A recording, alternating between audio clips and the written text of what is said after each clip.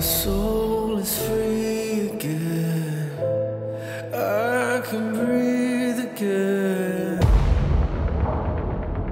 What's going on guys, this is Qazi. Welcome back to another epic video and based on your suggestion, we're going to be doing a look from Money Heist, something that I've been meaning to do for a very long time. So I'm so excited. And also, if you guys have any suggestions, do me a favor, drop a comment below, let us know so we can get to it right away. This look is perfect for music videos and narratives. And let's just go ahead and rate this. Remember, I wanted to do this rating system long time ago when I put out Netflix's Dark Look, and then I just never got a chance to get around it. So let's do this now. In versatility, I would give it about a four. Because it's such a niche, such a stylized look, it's not very versatile. In terms of style, I will give it about a nine because I feel like it's just so pushed and I love it. I absolutely love it. It's right up my alley. In terms of longevity, I will give it about a 5 because I put this in the same category as Transformers where uh, they don't necessarily age well. So this look is done in ACES. That's the color science that we're going to be using, but I will not go through it. If you want to learn more, I have a one hour long dedicated training that is absolutely free. Link is down below. Once you're done watching that training, you'll be ready to grade your first professional project from start to finish inside ACES. And on that note, if you're enjoying the content, you know what to do. Smash that like button, subscribe to my channel for more awesomeness. Make sure you're following us on Instagram, and let's roll the intro.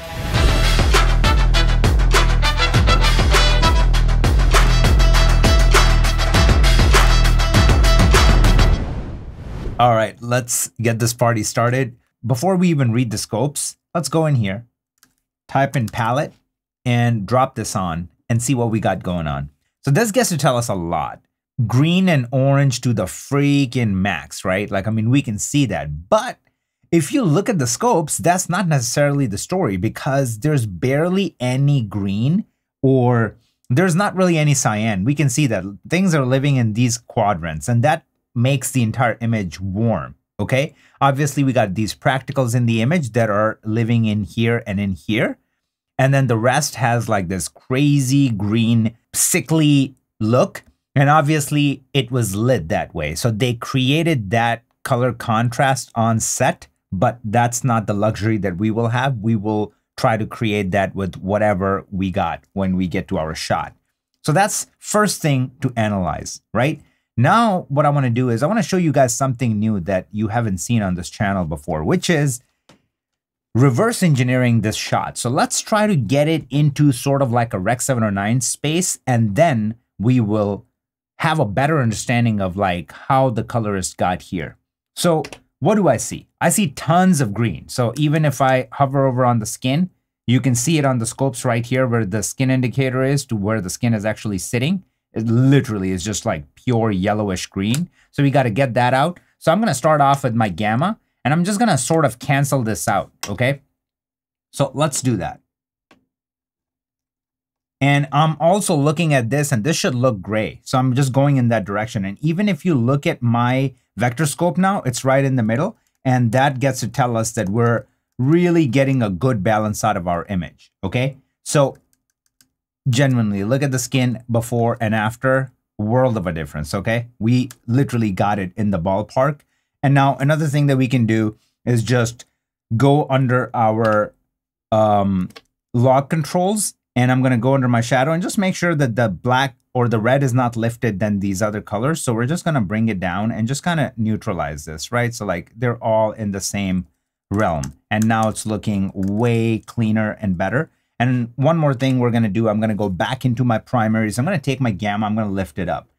So like now we have, we can see more, right? Um, and go back in my log wheels and maybe bring this down a little bit so we still have nice detail, uh, but still really punchy blacks. So if I were to look at this, it's still graded, but this would be close to what the Rec 709 should be, quote and quote. Obviously, that's not the case because they're lit with these lights, but this is just to give you an idea. Um, if it was a well balanced image, we would start here and then we had to create this look. So that's pretty interesting to when you dissect your grade like this and just like really see the possibilities of like where somebody started and then where they ended up and the choices that they had to make. Okay, very, very important. And obviously, these choices were made based on the story that they're trying to tell. All right. Now, what I'm going to do is reset this, obviously, and now go back to our shot. So, this is our shot way, way, way off uh, to what we are trying to create. So, first of all, let's get that out of the way. And uh, this will be my hero frame. I'm just going to park it somewhere around here. And I think that is a good start. And uh, we're working in ACES. That's why you see these. So I'm in a group clip right now. So this is uh, my ACES uh, being transferred everything to the right color space. So we're in Rec 709. Uh, but our color science on this project is using ACES CCT. And you will see the magic of ACES, how easy we will be able to create this look by only using three nodes that is something that cannot be done unless you're working in ACES. That is the true power of it. And if you want to learn more about that, I'm not going to be taking you through my proper uh, ACES transform and everything here. But if you want to learn more, link is down below. I have an absolutely one hour long free training. So if you want to check that out, link is down below. That said, let's just jump right in. So like I said, this is going to be the easiest grade you've ever seen. Three nodes. The first one is going to be my primaries. The second node is going to be my look. And the third one is gonna be my secondaries and that's it. It's gonna be that easy. So I'm gonna work in this mode right here. So we got our reference on the right. Uh, let's make this a little bit bigger so you guys can see it better because obviously we're only using three nodes so it doesn't even really matter. And let's make this bigger. So this is, this is better. Okay, so now we can see everything. So first thing, I'm looking at my scopes. We're way off. So first thing that we're going to do is I'm going to go under my HDR wheels. I'm going to go under my global offset and I'm going to try to bring this down as close as possible to where my reference is. Even something like that. And then once I come to this point right here, all I want to do is I want to go under my primaries, go back in here. And what do we see? We see that the contrast is extremely high. And that's what we need to create. So before we even do that, I want to go under my log wheels. I want to take my shadows and I want to bring them down. Okay. I want to bring them down uh, something like this. So we're already getting in that sweet spot. And now I'm going to go back and look at what else do we need to do? We need to pump a lot of contrast. So I'm going to go under my contrast slider and start cranking it. Like really push it, okay? So something something like this looks pretty good. And just by a couple of changes, look the kind of information and image we were about to pull. And just look at it. Like now, by looking at the scopes, like right here, you can't even tell the difference between the two. Okay, so we're already off to an absolutely stunning start. If I go back and forth between these two, especially when it comes to contrast and our overall exposure, it feels like we're in the same world. And that's what we're trying to do, right? Like, even when you saw the breakdown in the beginning, it started here and led into that. Like, this is a psycho guy who's painting her and holding her captive. And it's sort of like the same narrative, right? So that's what we have running in the back of our head when we're creating uh, this look. Like, it needs to be like absolutely one to one, they're in the same place. Now let's go into our look node. So what do we see? Majority, the bulk of our image has this crazy green and uh, that's it. Then we wanna make sure that our black points, our anchors are clean on the bottom. The top doesn't even matter because it has a lot of this yellow and green going on. All we need to worry about is our clean black points and uh, tons of green overall in the image. We should be good. So what I'm gonna do is I'm gonna go under my gamma and I'm gonna start pushing that green into my image, okay? I'm like going for it. And like I'm literally seeing this to that, right? Like I'm really, really going for it. And then what I'm going to do is I still want to keep my top end just a bit cleaner, not too much because I still see a lot of green in there too, like even right here, right? So if I punch in and show you this, there's still a lot of green here. See? So, I mean, I want to kind of keep that too, but still a little less than where I am. I feel like there's way too much in there right now. So what I'm going to do is I'm going to go under my gain and I'm going to reverse that. So just reverse it a little bit, something like that. So even something like that. and uh, then keep pushing that green maybe a little bit more, right? Like just overall, I'm looking at the two images and it's like, okay, where are we? What do we need? So even something like that, because now if we see this to that, we're getting in a really, really close world, right? I'm going to push it a bit more.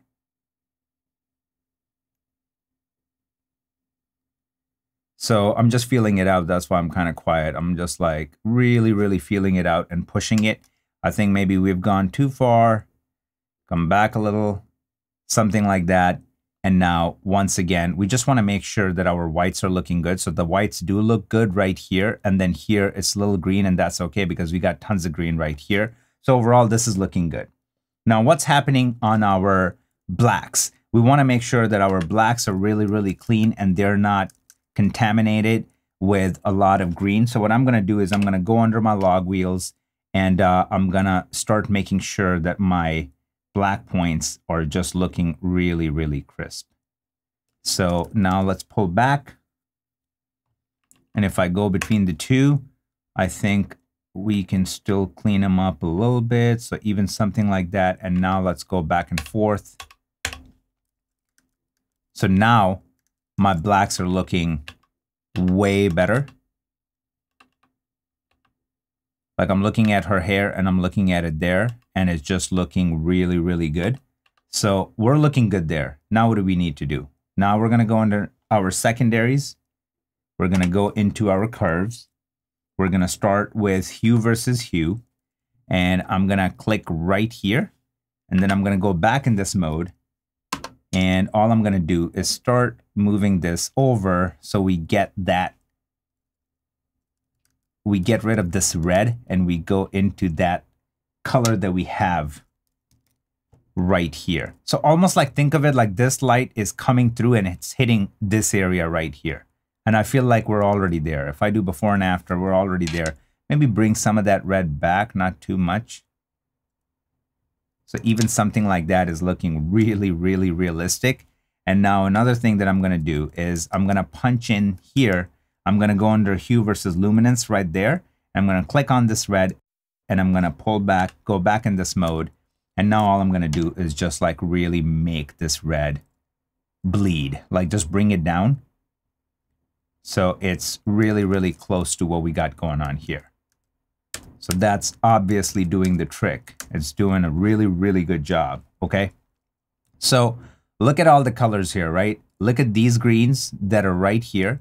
Look at this right here that's right there. Look at this light over here. Look at the red to the red. And like, look at the difference that we made and how easy it was. Even if we look at the skin, like look at the skin to that skin, it's very, very close okay? And if we go to this angle right here and switch between the two, and the beautiful thing about what we just created is that everything sticks because there are no qualifiers. So nothing is breaking. Like look at this light and all the things that we did. And that's also the beauty of ACES. If I play it through, like look, nothing is cracking. There is no artifacting going on. If I punch in here and play it through, there's absolutely zero artifacting. That's the power of ACES, and that is the power of the way I built this grade. All right, so now the last thing that I would do that's just kind of bugging the crap out of me is how much green we just put in in our midtones, if you will. So I'm going to go back in here in my log wheels, midtones, and I'm just going to try to subtract some of that. Like, not too much, but I want to take some of that out even somewhere around here. So if I do before and then do after, another cool thing that it does is that look at right here. If I go before and after, it cleans this up and it just makes it a bit more realistic, like the, the color of wood is coming back. So it's doing a little bit of that. Now, how far we can push it, let's try it. So if I keep going here and keep it somewhere around here and now go back, and if I kill this completely and then bring it back. So personally, I'm liking it, right? Because it is, like I said, really bringing this information back and giving us true colors.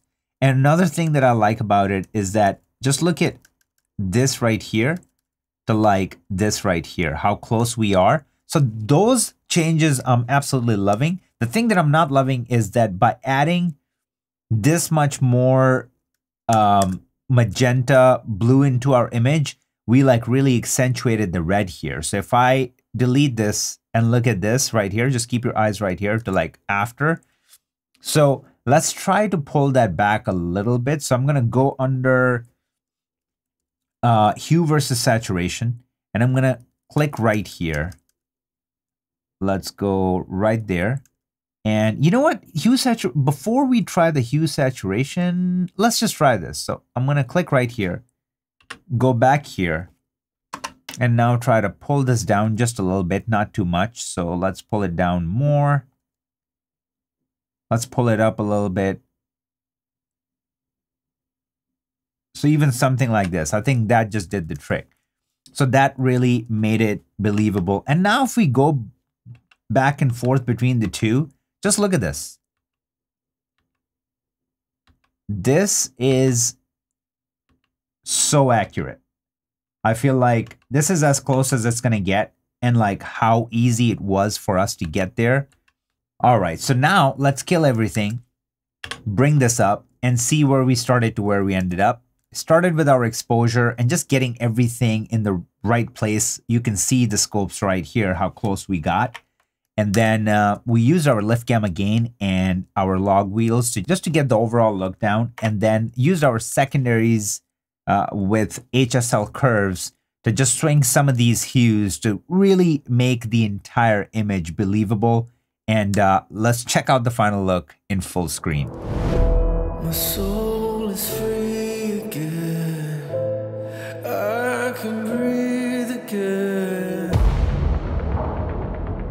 So hopefully this tutorial has done two things to you. One, got you really intrigued about ACES. And if that's the case, then link is down below. Check out the free training.